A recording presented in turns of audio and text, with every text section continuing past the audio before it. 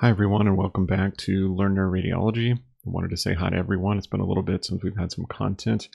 This is going to be the first lecture in some coverage of uh, autoimmune and inflammatory diseases of the central nervous system. In this first lecture, I'm going to give you guys a little bit of an introduction, tell you a little bit about what we're going to cover in the other portions of the lecture. Then we're going to cover demyelinating disease. So we'll spend some time talking about demyelinating disease both in the brain and in the spine. So this is going to be a case-based overview, and as part of that, we're going to cover many of the most common autoimmune and inflammatory processes that you're going to see on imaging in the CNS. We'll talk about some common mimics and imaging pitfalls, so some of the things that you might run into that might uh, mimic autoimmune and inflammatory things like infection, uh, some genetic conditions, metabolic syndromes, and things like that. So we're going to cover all of that uh, over the course of several lectures. Now, there are going to be about six divided lectures here. In the one today, we're going to talk about demyelinating diseases, mainly multiple sclerosis, NMO, and ADEM. In some of the other lectures, we'll talk about encephalitides and co common causes of encephalitis, particularly those inflammatory encephalitides. We'll have a separate lecture where we'll talk about the mass-like inflammatory diseases. Uh, typically, the ones you see are sarcoid and orbital inflammatory disease. We'll talk about spine inflammatory disease, so transverse myelitis, sarcoid. We'll talk about amyloidomas and uh, manifestations of amyloid disease, so amyloid angiopathy or CAA, inflammatory amyloid and amyloidomas. And then finally, we'll have a separate lecture where we'll talk about vascular processes. So without further ado, we're going to drop right into these and we'll talk about demyelinating disease. Now, at this point, I want to give you a warning. This concept of CNS inflammatory uh, and autoimmune diseases is really a huge category of diseases. Many of them look the same, and the clinical history and labs are really going to be what set them apart. So you may not be able to tell based on imaging. Um, my other warning is this is not intended to be comprehensive. This is not going to be every autoimmune and inflammatory disease. So just beware. Uh, this will hopefully give you uh, some coverage of what are going to be the most common uh, diseases. Uh, we'll gain some awareness of which is most common and uh, hopefully you can recognize some of the key pearls uh, for clinical testing. So without further ado, we're going to talk about demyelinating diseases. Now the main ones we're going to talk about are MS, NMO, and uh, ADEM, or its variant with hemorrhage, AHEM, and we'll talk a little bit more about these as we move along. So each of these is going to be a case. We're going to have a case presentation, and we'll talk about, uh, we'll see some of the imaging, and then we'll talk about the imaging findings and what uh, are the key considerations here. So the first case is going to be a 35 year old woman with right lower extremity weakness. And here's some of the imaging here. You have a FLAIR on the left. This is diffusion on the right here. I'll just give you a second to look at those. Move on. We have FLAIR and diffusion again, just from a little bit higher in the brain. Take a look at those now. So what you're seeing is you have some periventricular white matter FLAIR abnormalities, Maybe it's a little bit faintly bright on DWI, but nothing too much to worry about. If you just keep coming a little bit higher, you see a little bit more of the same. So by now, you should really be having some thoughts about what uh, about what you think this is, especially in the context of this lecture. Now here we have pre and post contrast imaging. So it's pre contrast on the left here and post contrast on the right. So you do see there are some areas of enhancement. You might say those are areas of ring enhancement. If you come a little bit higher, you see it a little bit uh, a little bit better. Additional areas of enhancement. Finally, you have this final image. You see sort of similar findings throughout all of these. On the pre-contrast, there's uh, nothing, and then on the post-contrast, you have either small areas of enhancement or areas of ring-like enhancement. So this is what multiple sclerosis looks like, and multiple sclerosis is an autoimmune demyelinating disease. You tend to get lesions that are periventricular in the corpus callosum or pericallosum uh, regions. You have subcortical and cortical lesions. Uh, the most common presentation is going to be an optic neuritis or visual changes. Active lesions tend to enhance on post-contrast imaging. So those that we saw that were enhancing, those are active lesions with an active inflammatory component. They can involve the cervical and thoracic spine, and MS is more common in women than it is in men. So let's review this imaging a little bit here. So we have a periventricular distribution of lesions. So it's this deep white matter here and periventricular white matter. On post contrast, you see that, as we pointed out, these ring enhancing lesions, which look like this. A couple of little other dots of enhancement that you see there as well. Now, if you look at other projections, now this is something that is actually quite common that you need to be familiar with.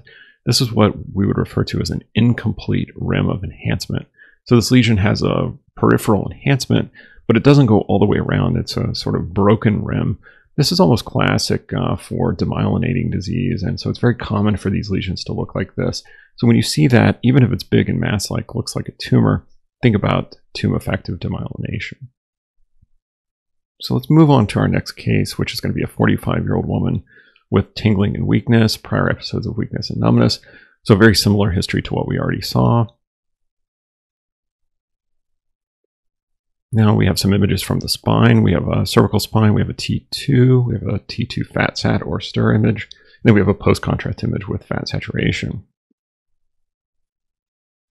Here we just see some axial images through the central portion there. Maybe you see something a little funny about the spinal cord there. Uh, this is just an image from the brain, so you can see what the brain may look like. Nothing really to see there. This is a FLAIR image. Looks pretty normal. Here are some images through the orbits. So from the back of the orbits, you can get a look at the optic nerves. Maybe that's a clue. Now this is a case of neuromyelitis optica. This is typically a triad of optic neuritis and myelitis. Uh, you usually have an aquaporin 4 antibody that's present about 70% of the time. The common presentation of these patients is a myelopathy or weakness and visual changes. For the brain, it's much more likely to be normal than an MS. The lesions tend to be larger. For the spine lesions, they tend to be longer segments and involve uh, what we would call longitudinally extensive or more than three vertebral bodies. They tend to involve the central cord. You may or may not see enhancement with these, like about one out of three will enhance. You may say optic neuritis. You may uh, see optic nerve atrophy. So let's take a look back here. And uh, what we see is if you look here at around C6, you see some abnormal T2 signal within the cord itself. The cord is maybe a little bit of expanded. You see the contour like comes out a little bit. If you look closely at this post-contrast image, you see a little bit of a rim of enhancement, and perhaps it's not completely enhancing around the rim. So very similar to what you see in the brain for demyelinating lesions. Here you see through the orbits, what I wanted you to see is a little bit of subtle abnormality of the right optic nerve here. So if you look at the optic nerve, it's a little bit faintly brighter than the other.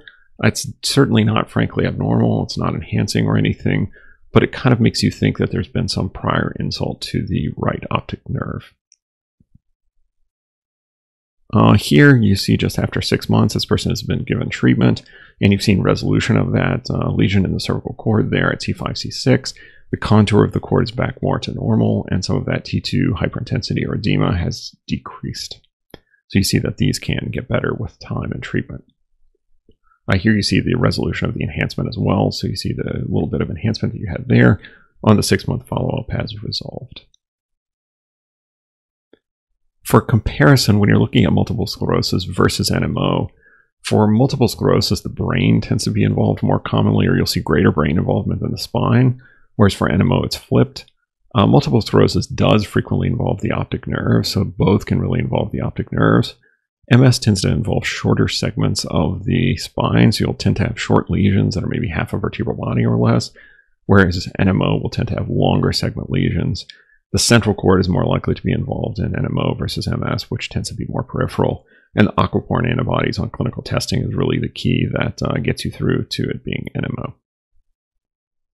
For this next case, we have a 25 year old chef uh, he's been experiencing left shoulder pain and left sided weakness for two days, and now a little bit of drowsiness. So, a younger patient. Here we see some images through the brainstem and kind of upper cerebellum. Note this uh, little abnormality in the superior cerebellar peduncle there on the left. It's a little bit abnormal in diffusion. This is FLAIR, diffusion, and post contrast here, so that lesion has a little bit of enhancement. We'll go a little higher. You see that that lesion is not isolated. You have a number of lesions in both the basal ganglia, the corpus callosum, some callosal lesions back here. Now in diffusion, these are pretty bright actually, uh, so you see some abnormalities there. On post-contrast, you have some enhancement there. Again, kind of this fluffy enhancement. Maybe it's a little bit more peripheral. It's around the periphery of some of these lesions. Here you see a little bit higher. There's just uh, some additional lesions in the periventricular white matter. You see a little bit of enhancement, maybe a little bit of a rim that you're getting there, uh, but a little bit of enhancement again there.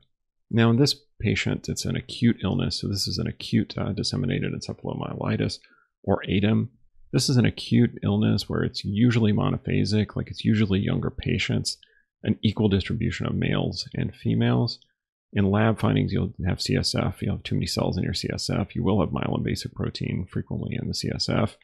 Uh, you can also have detectable antibodies with these anti-MOG or anti-MOG antibodies being present a good fraction of the time.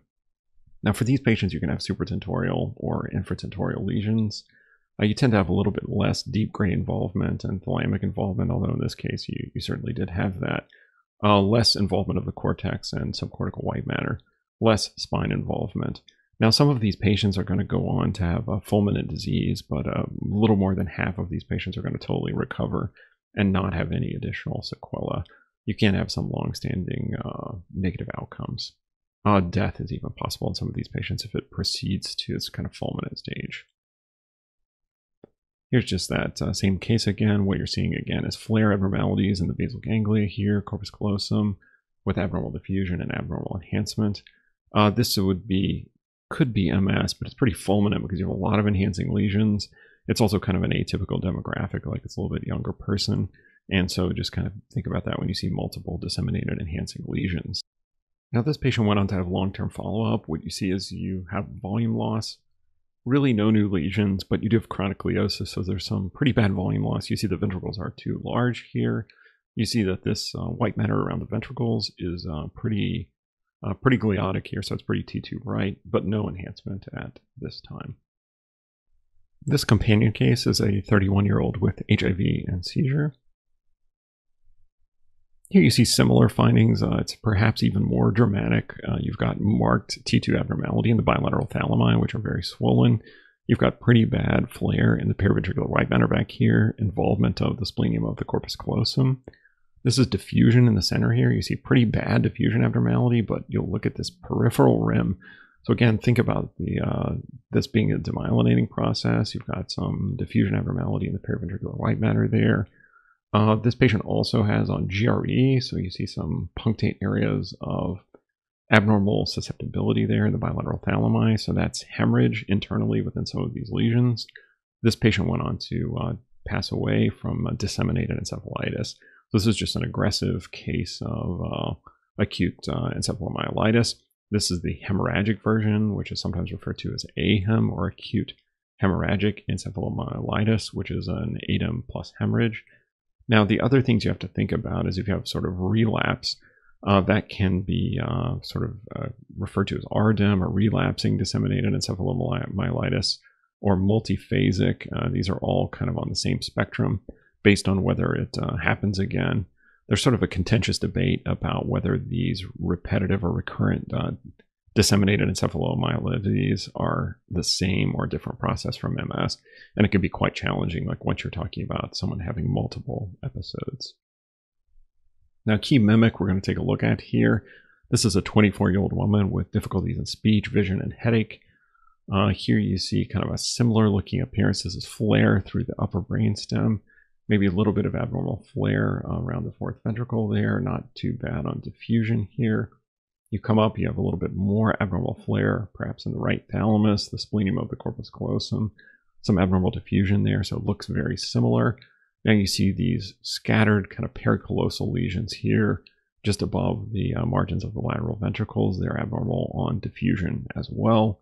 I'm showing you this MRA, so it's some images from an MRA of the head and neck, just to show you that they're normal. So these are not, uh, we're not thinking that this is necessarily uh, a stroke-like process or something from uh, atherosclerotic disease or anything like that.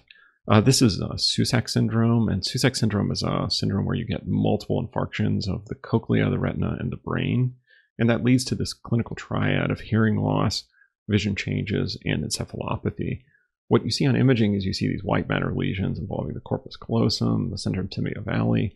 They tend to be smaller than demyelinating disease, but they can often enhance uh, you can have DWI abnormalities or DWI can be can be normal. So to summarize here, we have a variety of demyelinating diseases that you can see uh, in the brain and spine. The most common is going to be multiple sclerosis, which is going to be most common in young and middle-aged women. They have a periventricular distribution, and when you see it in the spine, it tends to be a short segment. NMO tends to have less involvement of the brain and longer segment spine lesions, and it's associated with these anti-aquaporin antibodies, so you need to be familiar with that.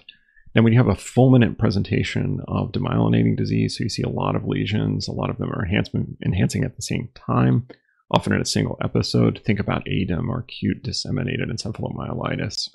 Now, a common mimic of these is an autoimmune vasculopathy called Susac syndrome, where you get this triad of encephalopathy, hearing loss, and vision loss, and that's from multiple small infarcts in the periventricular white matter, and uh, and then in the retina and cochlea, which causes those other uh, symptoms. So this is kind of the spectrum of demyelinating disease that you might uh, expect to see on imaging of the brain and spine. Uh, it can be impossible to differentiate these at a single time point. So if you don't have a history, like you may be looking at uh, one slice in time of any of these diseases. So you've got to bring the whole clinical picture into bear, find any outside imaging if it's available, or, or other imaging that can tell you a little bit about the history for these patients. So this is going to be the end of this demyelinating portion of this. Uh, please tune in to see the rest of the lecture. We're going to have uh, five more lectures about autoimmune and inflammatory processes within the brain and spine. So uh, be on the lookout for those. Uh, thanks for tuning into the lecture today. Uh, be sure to check out some of the additional uh, content on our channel and be sure to hit the button to subscribe if you enjoy the channel. Thank you.